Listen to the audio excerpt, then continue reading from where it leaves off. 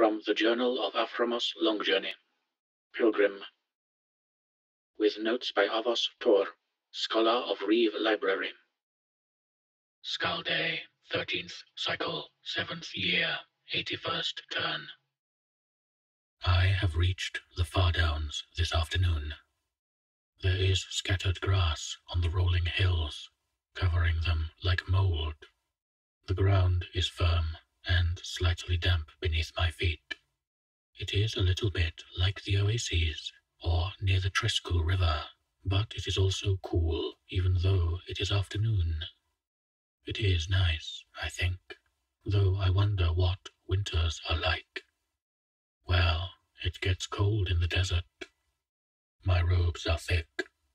If I become too cold, I will simply need to buy thicker ones.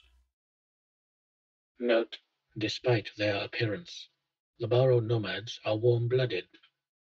Indeed, they are very good at regulating their body temperatures, often learning to do so on a conscious level.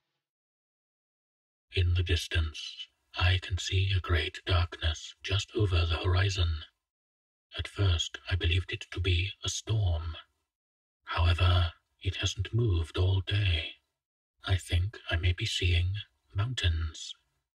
They say there are mountains beyond the far downs where the wild trolls live.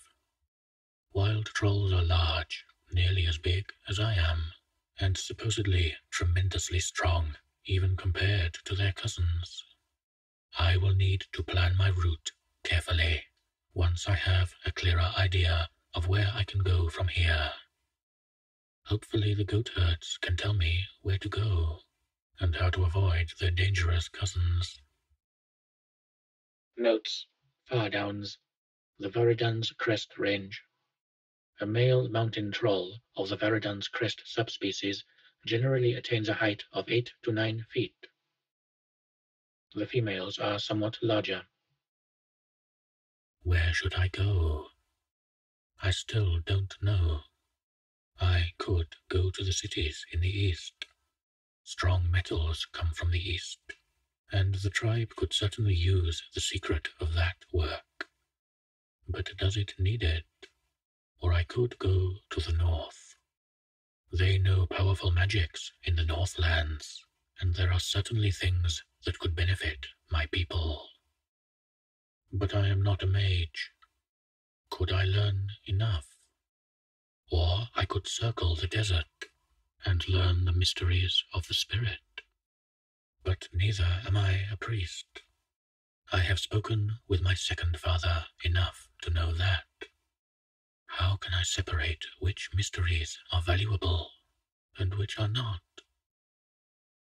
At least I may ignore the West. There is nothing in that direction but ghosts and demons. I will learn nothing of value there.